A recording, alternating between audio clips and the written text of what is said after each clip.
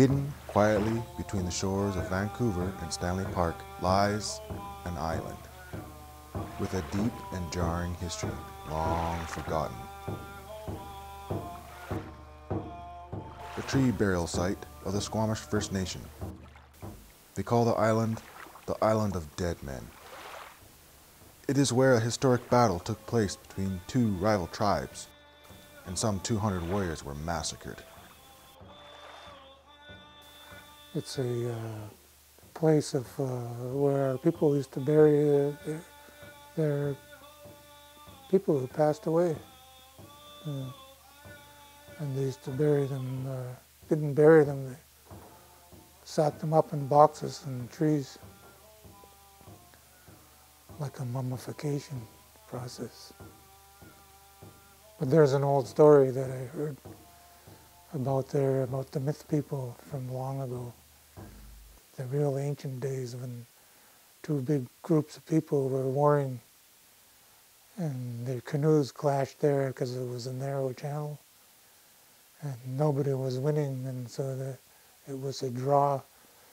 And then they uh, uh, one side captured the women and children of the other side and said that um, we'll let them go and let them live if you all surrender and be put to death so all the warriors on one side did that.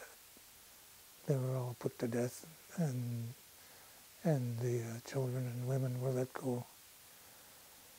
And since then, there's been a special flower that grew.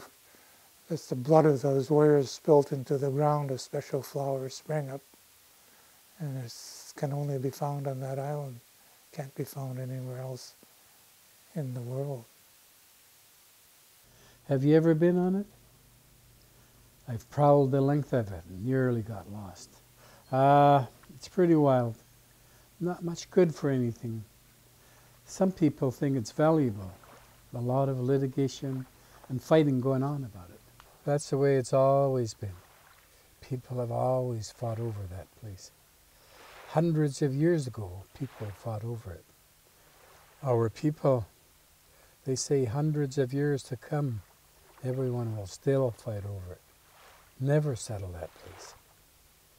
Dead Man's Island always means a fight for someone. We fought ourselves for it once a long time ago, way before all this. Fought, killed each other, until the island ran with blood, and the seawater about it was stained red. It was then our people said that the fire flower was first seen growing on this coast or any a fine color, for it was born and grew from the hearts and blood of our ancestors. We have no such men now, no fighters like those men, no courage like theirs. But I tell you the story, then you will understand. You will understand it then. Now, all peaceful. Even dead men's spirit doesn't fight now. But a long time after it happened, those spirits fought. Oh, the legend?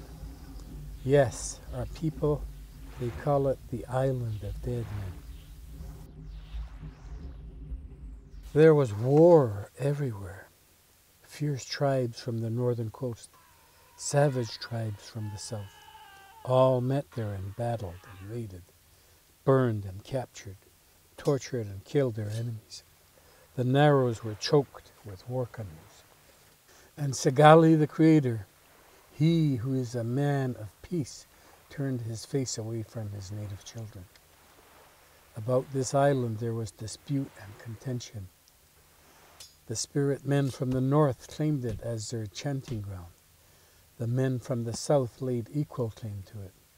But neither would give way, yet neither conquered. You weren't kept us will die. We are the stronger.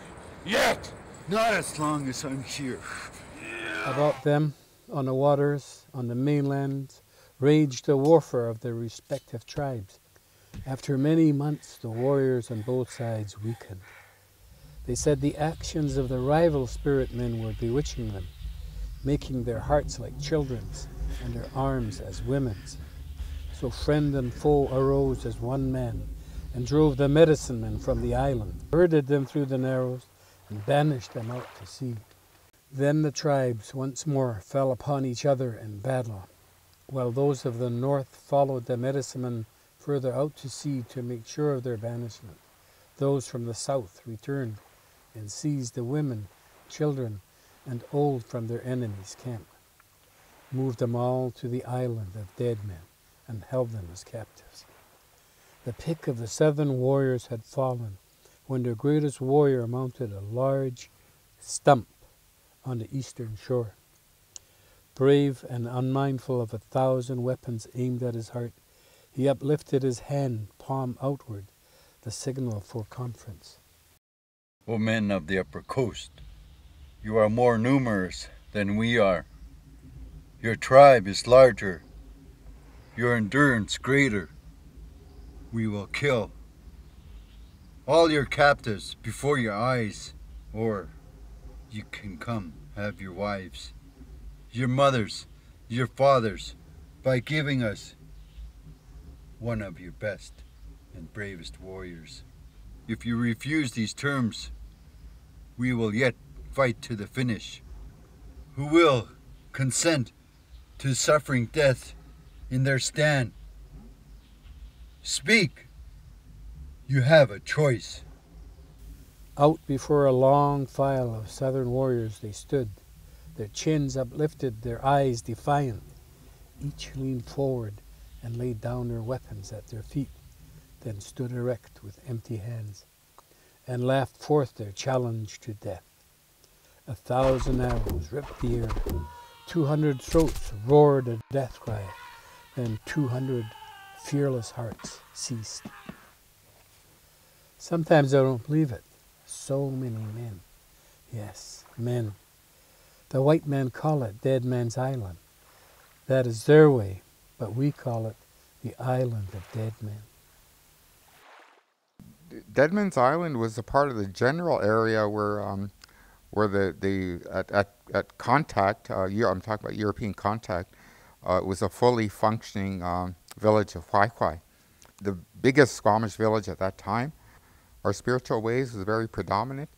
That, that it um, it uh, it impacted the whole so- socio-political uh, ways we lived as communities and villages, and our our traditions were all based on our our spiritual knowledge. Uh, and we do know that uh, the whole history says of that area, I'm talking generally about the whole area, Deadman's Island, Stanley Park, all the way where, where Siwash uh, Rock is now, seawall, all that whole area was uh, was considered to be a geographically, spiritually power. The other part of the warrior um, code, the warrior, is that uh, it's a spiritual commitment and a, a, physical commitment. The warrior vow goes, uh, and it's a personal covenant with the Creator, the commitment to the Creator through the sacred fire ceremony that you'll protect the woman, children, and elders during peacetime, and the land rights and the and the people during times of war. Uh, so we're actually, in effect, uh, policemen during peacetime, and military during uh, during during times of war. One thing about Dead Man's Island is certain: its name. Once marked by cedar box graves and simple headboards, its graves, none of which are visible today, contain First Nations, early pioneers, suicides, infants, smallpox victims, Canadian Pacific Railway construction casualties, and people killed in the Great Fire of Vancouver, among others.